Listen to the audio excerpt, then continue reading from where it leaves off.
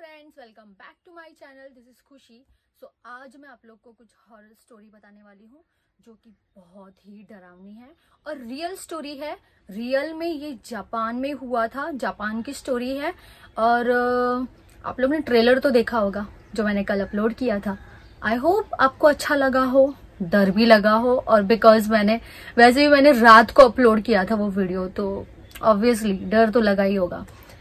तो story start करने से पहले मैं बोलना चाहूँगी, अगर कोई न्यू है मेरे चैनल पे तो प्लीज़ सब्सक्राइब करना मत भूलना। मेरे चैनल को सब्सक्राइब कर देना वीडियो को लाइक कर देना कमेंट्स करना कमेंट्स करके बताना और मैं कौन सी वीडियोस बनाऊँ और मैं क्या बताऊँ आप लोग को।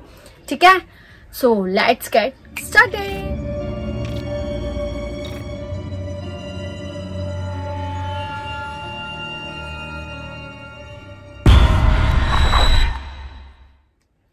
ये स्टोरी है जापान की। जापान में 1970 के टाइम पे 1970 के टाइम पे, वो टाइम पे वहाँ पे इंडिया और यहाँ पे तो मीन्स वो टाइम पे तो बहुत पुराने जमाने के सब फॉलोज करते थे, है ना? भूत प्रेत में विश्वास करना और जादू टोना, ये सब चीज़ में बहुत विश्वास करने का वो टाइम पे। बट जापान में बहुत ही मॉडर्न हो गया था वो वाला देश और वो लोग ये सब भूतों वूतों में इतना विश्वास नहीं करते थे।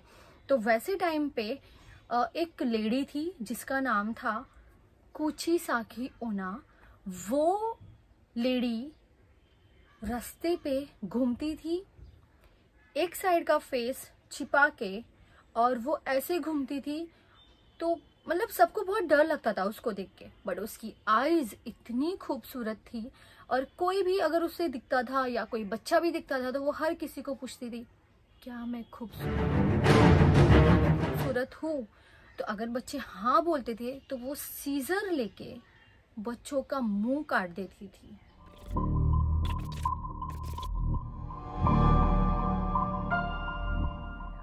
वो सीजर लेके बच्चों का मुँह काट देती थी और इतना ब्लड होता था, इतना ब्लड होता था कि वो ब्लड के कारण, वो ब्लड निकलने के कारण वो बच्चे की डेथ हो जाती थी। एक्चुअली ये स्टोरी उसकी डेथ कैसे हुई? कुछ कुची साकी ओना की डेथ कैसे हुई? मैं आपको बताती हूँ। एक टाइम था वो बहुत खूबसूरत थी, वो बहुत ही खूबसूरत थी। उसे अपने खूबसूरती पे बहुत ही नाज था कि मैं बहुत खूबसूरत हूँ, मेरी जैसी कोई नहीं है। और एक एक लड़के से उसको प्यार हो जाता है और दोनों शादी कर लेते हैं, दोनों एक दूसरे से बहुत प्यार करते हैं, दोनों शादी कर लेते हैं। शादी करने के बाद वो जो उसका जो हस्बैंड होता है, वो आर्मी में रहता है राइट तो आर्मी में होने के कारण उससे एक कॉल आता है जंग लड़ने के लिए। तो वो कॉल आता है तो वो वहाँ पे चला जाता है, ठीक है? उसका जॉब जो ड्यूटी रहता है, वहाँ पे चला जाता है। कुछ महीनों बाद जब वो वहाँ से अपने घर पे आता है तो उसने अपनी वाइफ को किसी और के साथ वो अपने घर पे देख लेता है। कुची साकी ओना को वो किसी और के साथ देख लेता है अफेयर रहता है उसकी वाइफ का। मतलब कुची साकी ओना का किसी के साथ अफेयर होता है और उसका हस्बैंड उसको देख लेता है।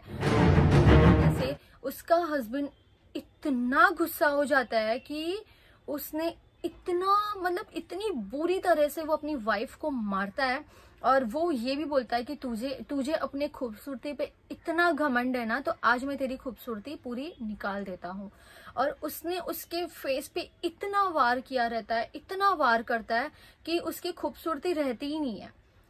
सीजर से बहुत वार करता है उसके फेस पे और लिप्स जो रहता है, अपना जो माउथ रहता है, यहाँ से कट कर देता है ताकि वो आगे वो खूबसूरत दिखे ही ना।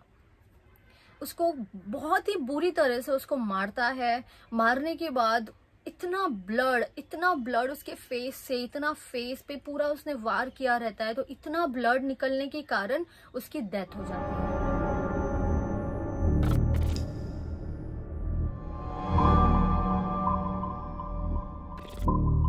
डेथ होने के बाद वो मतलब भटकती है, उसकी आत्मा भटकती है।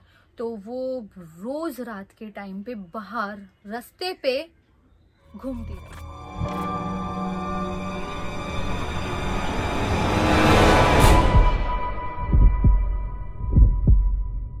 घूमती रहती थी।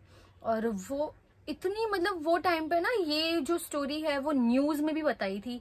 न्यूज़ में भी आया था ये स्टोरी और ये वजह से लॉकडाउन हो गया था। यार, बहुत खतरनाक स्टोरी है।